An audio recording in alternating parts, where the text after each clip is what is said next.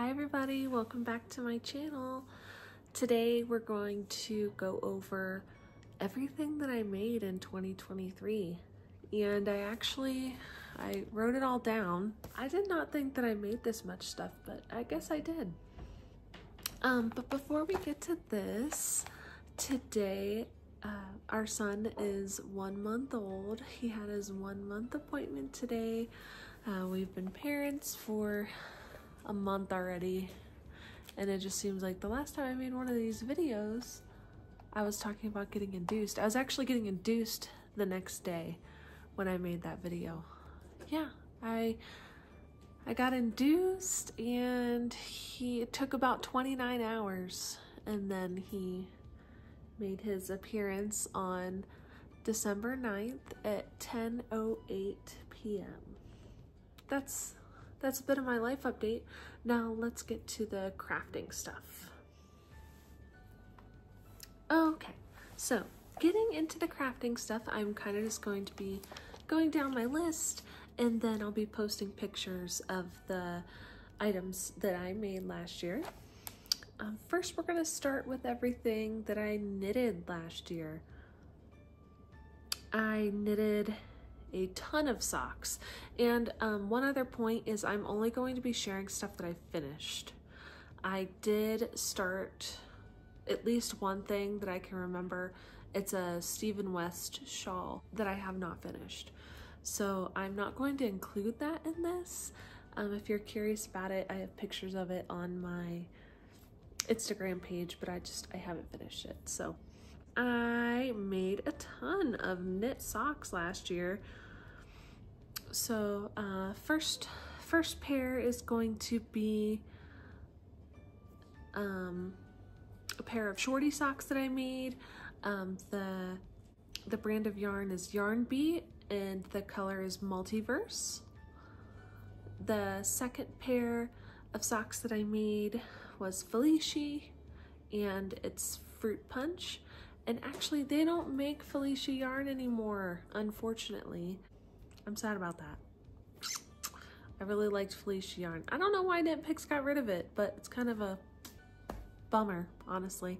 And then the next one is Felicia yarn. I bought a bare skein of yarn. I actually dyed a few skeins of yarn last year, um, but this one particular was one that I made um, Felicia yarn, and it's like rainbowy colored. It's like pink, yellow, and blue, um, and they worked up really pretty. So the next one is going to be Cozy Toes yarn. And I believe that is from Hobby Lobby, if I'm remembering correctly. This one is Shine Like Summertime, so they're bright yellow. I made three pairs of baby socks, knitted baby socks, because I also have some crocheted ones. Um, I made three pairs of those. So the first one is going to be just uh, a pair of wool blue baby socks. And then the next one, they're kind of like mismatching, but it's also wool. Um, I made a pair of Christmas socks. The yarn that I used for the Christmas socks I actually dyed myself. Um, I ended up actually kind of messing it up and somehow it ended up looking Christmassy and cute, so it worked out. Randomly, next thing I have is a pumpkin. I knitted a pumpkin, um, a little bit of decor. I also knitted some uh, baby pumpkin hats. So um, my mom had a few coworkers that were all due um, a few months before I was, so around like September, October time frame, and so I made them all cute little fall pumpkin hats. So those turned out cute. And then a pair of socks.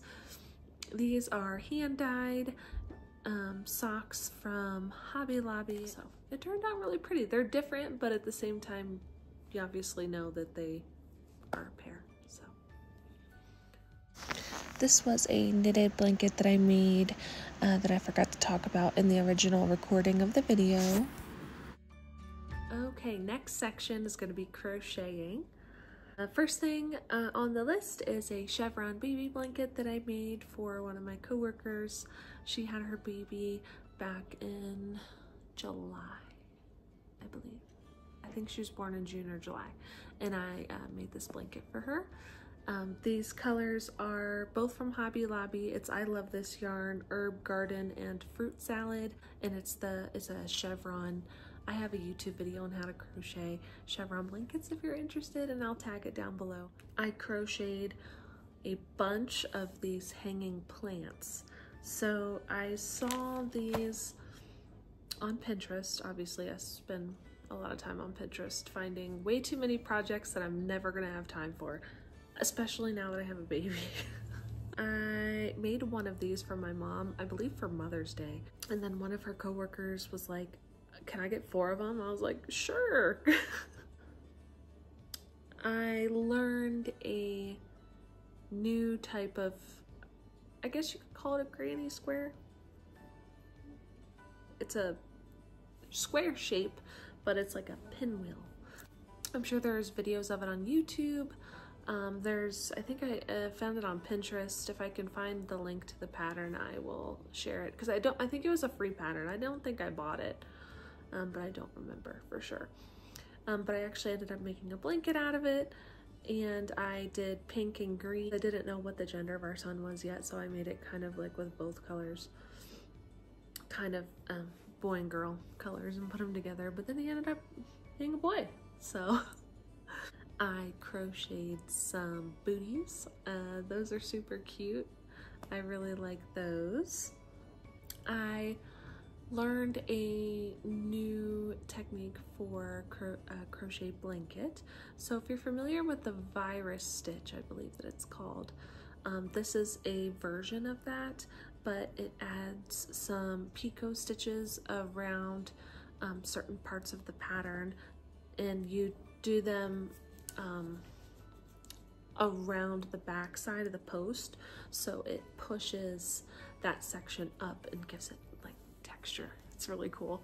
Um, if I can find the pattern for that, I'll, it's a free pattern. I'll definitely um, tag everything down below. I made a star blanket out of Caron Latte Cakes. Um, I love this yarn. If you've never worked with Caron Latte Cakes, you need to go and grab some because it is the softest yarn, one of the softest yarns I've ever worked with, and it comes in many, many different color variations. Um, it's just fun and easy to work with. So if you're interested in trying a new brand of yarn, I would try that one. Put that one on your list. I made a few crochet ear warmers. I had fun making those. Got some inspiration to do some scrunchies. Um, I made I made just a few of them and I used like a gray metallic silver velvet yarn from Joann's um, and they turned out really cute. So I just crocheted around a hair tie, basically. It's really, really easy. For Christmas, I made a bunch of these hexagon um, crocheted uh, pot holders.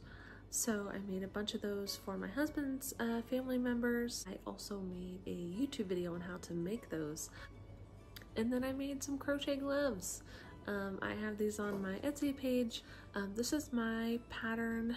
I'm thinking about writing it out. If you're interested um, in the pattern, let me know. I also forgot to talk about this crochet star blanket that I made. Um, this one's available on my Etsy page. And then I also crocheted some pacifier holders with clips. All right, next section very small section I did some sewing and uh, I'm not good at sewing. I literally can barely sew in a straight line. But I ended up making some more pot holders um, just out of random scraps of uh, fabric that I had. I made a few loveys. Um, these two that I'm showing a picture of was also before I knew the gender of our baby. Um, so I made a pink one and a blue one. I believe this is called like minky fabric. It's really, really, really soft and perfect for babies. And then I made a quilt for our son. So this was a, literally like I just cut up some fabric into squares and I tried, attempted to sew them together in as straight as I could. It's got a few wrinkles in it and whatnot, and some of the squares are not perfectly aligned, but like I've never made a quilt before, so it turned out better than I was anticipating. Okay, last section is going to be cross stitch. One of my goals for 2024, just as a side note, is I want to cross stitch more. Um, I know these projects typically take more time, but cross stitching is so much easier on my hands and wrists than crocheting in particular and knitting. Um, I'll probably still knit like a bunch of socks and stuff because those are easy, um, small. I can shove them in a bag if I'm traveling. This is my sock knitting bag. It's really, really small. I can literally throw it in my purse.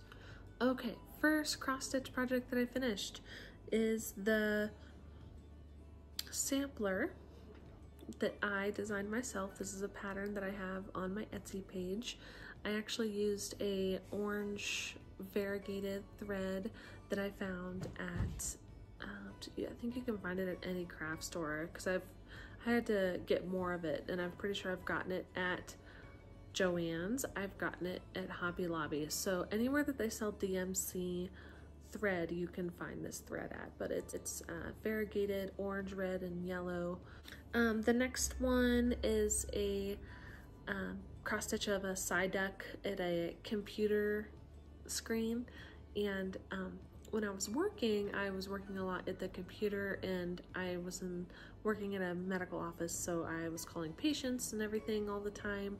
And sometimes, like with computers and stuff, you're just like looking at your screen, like, what is going on with this computer right now? I saw this pattern, I was like, this is perfect.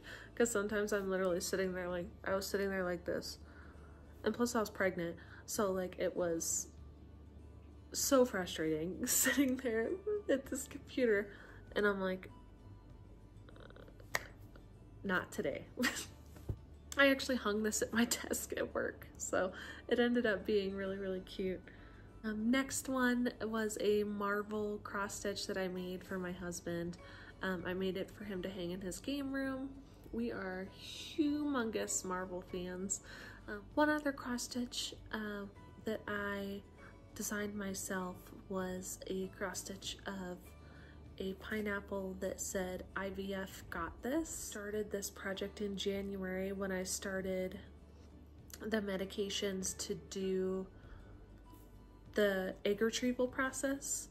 So basically how that works is you stimulate your ovaries to make a ton of eggs with medication and then you have to go in and get the eggs surgically removed.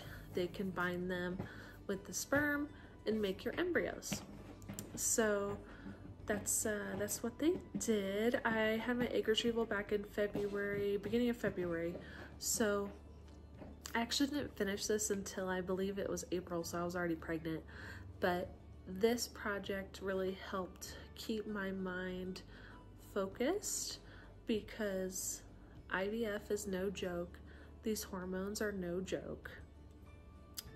Um, this process was probably one of the hardest things that I've ever done, like starting medications all the way up to egg retrieval, embryo transfer, and then pregnancy is it was a it was a hard year 2023 i'd had something going on all year i was either on the stimulating medications. I got ready for the egg retrieval. It took me a few weeks to fully recover from that. And then the next month, I did the embryo transfer and got pregnant. So I was very busy in 2023. And I know I didn't talk about it a lot, but if you have any questions about the IVF process, please let me know. It is a hard, hard road to go down to be able to have a family. Um, it's not easy. Infertility is not easy to deal with. Um, best thing I can say is to have a support system. There's lots of Facebook groups. Like if you're going to be starting IVF, going through any kind of fertility, whether it be female or male factor, when it comes to your fertility, issues. Um, there's tons of Facebook groups and support groups and stuff for that. Um, he's trying to decide if he wants to wake up. You okay, Bubba? Oh my goodness, the newborn sounds. So, yeah, like like I was saying, if you have any um, questions about IVF, the process, anything like that, uh, go ahead and leave a comment down below and uh, or you can private message me on my Instagram page. Uh, that'll be linked below um, if you don't want to comment um, down below in the public video. So cross stitch pattern that I made recently. Uh, I forgot to talk about. Um, this is available on my Etsy page, and this is the next cross stitch that I'm planning on uh, working on after I finish the birth announcement cross stitch. And the last cross stitch that I finished was a portrait of our cat uh, Maxine. So I found a pattern on Etsy. Um, she actually has a ton of different cat portraits that you can cross stitch and this one was a long-haired orange tabby so it worked out perfectly. I had a hard time fitting her name in the banner but I messaged the designer of the pattern and she helped me out. That is everything that I did and finished that I started and finished in 2023. If you like this video and you want to see more of my content, go ahead and consider subscribing to the channel.